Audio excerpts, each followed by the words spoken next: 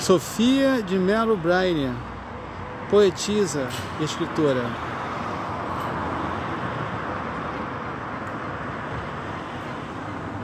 Lindo grafite.